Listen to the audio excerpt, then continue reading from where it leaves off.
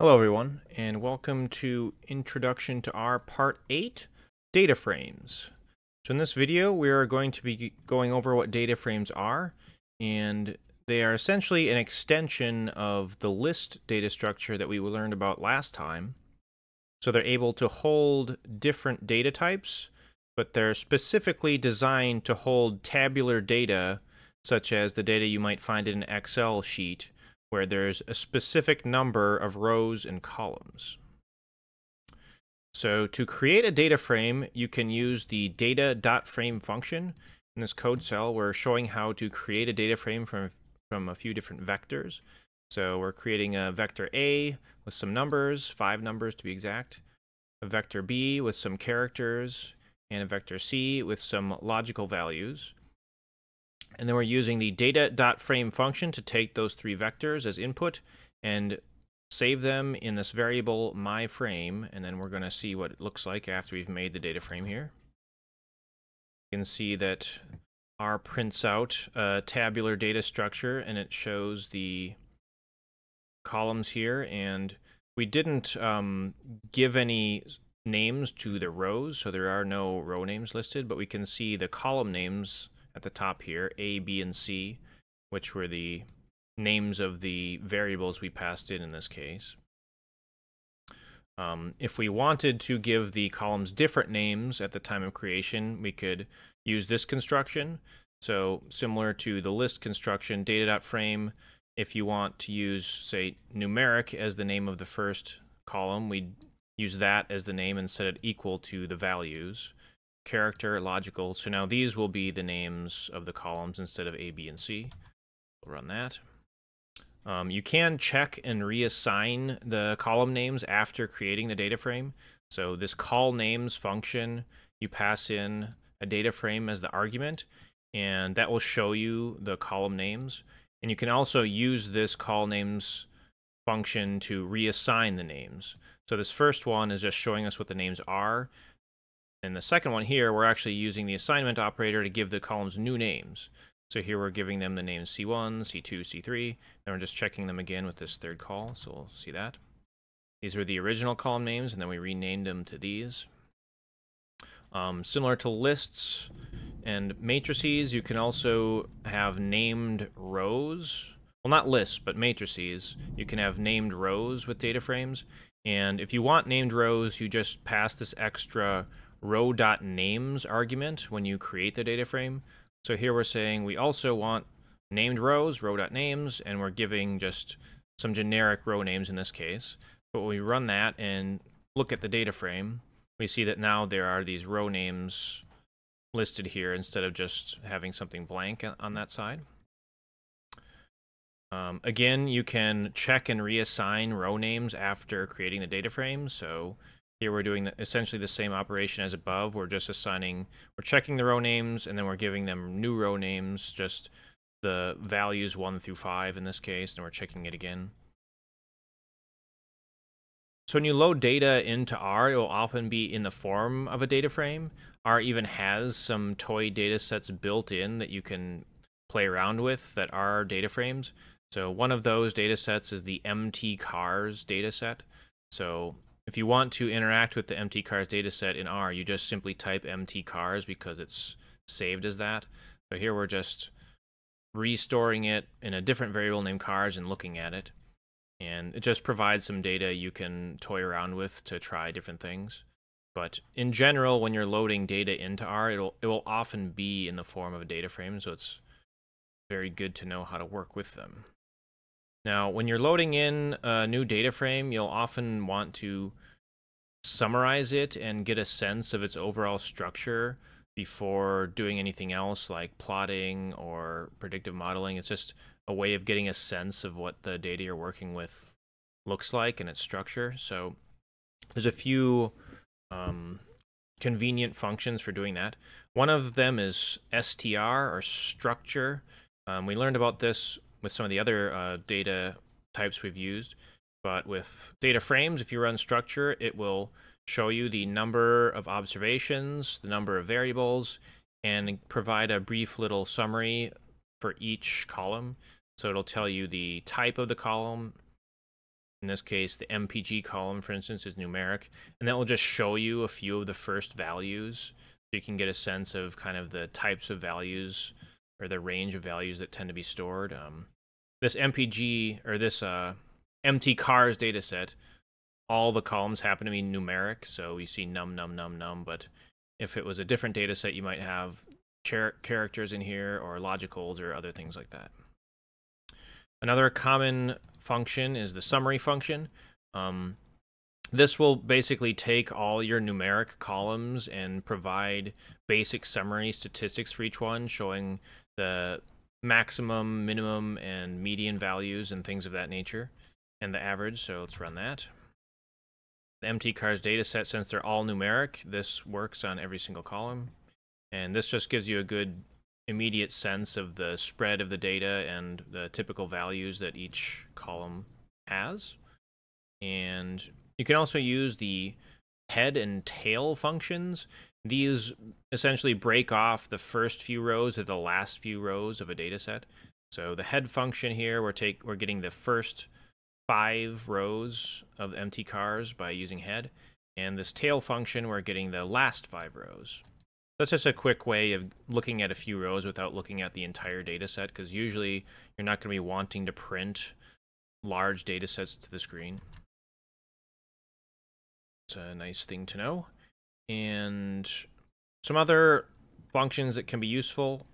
Dim, again, we learned this for matrices. It works on data frames as well, just checks the dimensions of the data frame. Um, row gets you the number of rows, and ncol gets you the number of columns. There they are. And you can also index into data frames using similar indexing operations that we've learned for other data structures. Under the hood, data frames are built on top of lists. So all the indexing operations we learned for lists also work for data frames. But regardless, we'll run through a few examples of how you can do that. Um, so just using single brackets with a number inside will select a column slice of that numbered column. So that actually returns a list and not the the type of the data in that column. It returns a new list instead. So we'll run that and show that it's it gives you the column weight in this case because that's the sixth column, but it's actually a list. So it's like a data frame still, but only with one column. And sometimes that's not what you want. Sometimes you'll actually want this weight column with numeric data in it. So to do that, you use double brackets instead. And when we check the type of that, we should actually grab the values in there so that it should be numeric. Or double, which is a numeric data type. Um, you can also get columns using the quotation notation or dollar sign notation with the column names. So in this case, we're getting the weight column using the quoted string of the name instead of using a number. And same thing here, here we're using the dollar sign with the name of the column unquoted. Both of those will grab the values in that column just like we did up here with the number. And this is just showing some different ways of indexing. Uh, if you want a specific value in a data frame, you use brackets with comma separated values. So in this case, we're getting the value at row 2, column 6. This case, we're getting the value of row 2, and we're actually not specifying a value, so that means we're getting the whole row, so that's the whole second row. In this case, it's the whole sixth column because there's no value before the comma. And again, you can use names instead of index numbers. So this one gets the row of the Mazda RX-4, and this will get the whole MPG column. Let's run those and show what the results would be. And the various logical indexing operations that we've learned about already work with data frames as well. So you can do things like, for instance, this call.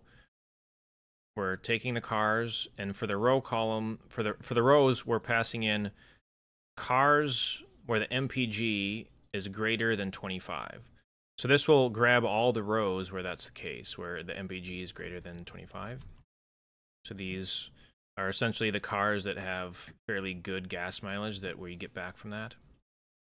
And you can make subsets of data frames using this subset function. Um, it's similar to doing essentially what we just did above, but it has its own special syntax. You essentially use the subset function. First, you pass in the data set. So in this case, the cars data set we're using. And then you can just specify several logical operations combined with ands or ors and get back whatever results from that. So in this case, we're taking a subset of the cars data frame where MPG is greater than 20 and horsepower is greater than 70. So this is essentially getting cars with fairly good gas mileage, but also that at least have a little bit of horsepower. This might be a pretty low number. Maybe all the cars would have at least 70 horsepower. I'm not sure. Oh no, some of them don't. Let's see what we get back from that. And similar to the matrix functions, cbind and rbind, um, you can combine data frames using those if you have, say, two different data frames with the same columns but different rows. You can use rbind, for instance, to just paste them together so you have one longer data set. It looks like there's not code here for that, but you can do that. Um, and you can remove columns from a data frame by assigning the column name null. So here we're saying in the cars data set, the versus the or the VS column null. That's dropping that column. Same here, we're dropping the carb column. So after we do that, those two columns will be gone. They have disappeared, and now we only have nine um, variables. And again, you can use uh, the same indexing operations we've learned. In this case, we're using the negative sign to drop specific rows from the data set. So we're resaving cars, but only with the cars that are not in row position one or three. That's what the minus does. It's saying instead of getting row position one and three, we're saying get everything other than row position one and three. So this is basically just dropping those two rows. So when we run this, we should get the data frame without those two rows. Um, we'd have to look up above to see which ones the first and third were, but they should be gone there. So that is a general introduction to data frames. Um, but there is one quirk with how data frames are constructed. When you pass in a character vector for one of the columns, the data frame constructor will actually make that column into what's known as a factor instead of a character column. You can see if we run type on the frame on the data frame we made earlier, if we run type of on the character column, it says it's an integer and not a character, which is weird because we actually passed in a character vector for that.